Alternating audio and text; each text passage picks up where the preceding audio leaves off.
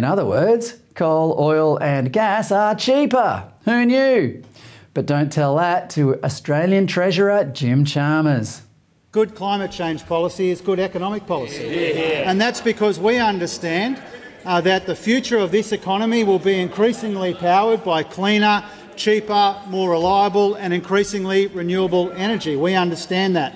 And we also understand that for too long in this country, the opportunities of an economy powered by that cleaner and cheaper energy have gone begging.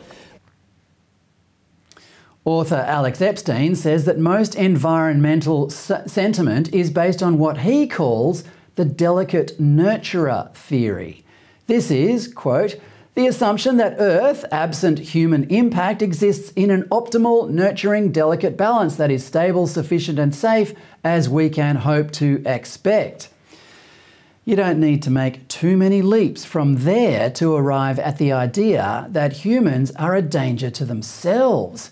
And the best way to save humanity is to have as few of them as possible.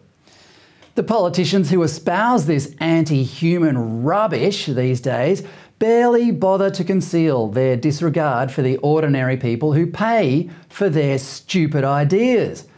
Without doubt, the stupidest idea of recent times was the Snowy 2.0 scheme, dreamed up by former Prime Minister Malcolm Turnbull in 2017. As Energy Executive Ted Woodley said in an opinion piece in The Australian today, the scheme was meant to cost $2 billion and be finished two years ago. Instead, it's on target to cost $20 billion and unlikely to be completed this year, or this decade, I should say. Its own modelling has found it will force the cost of energy up, not down. Well, that's hardly surprising. The scheme, you see, is designed to use solar power during the day to pump water uphill, then release it into hydro turbines at night when demand for energy increases. The, the potential for something so complex and convoluted to provide cheap energy was always going to be slim.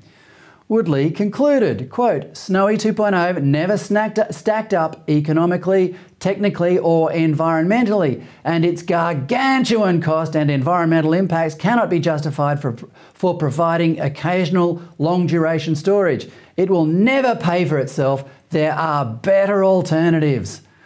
Well, there sure are. Coal, oil, and gas spring to mind. So why did Turnbull want, to, want the nation to build it in the first place? Well, it was to reduce emissions of carbon dioxide, or, as Epstein would say, avoid upsetting our delicate nurturer.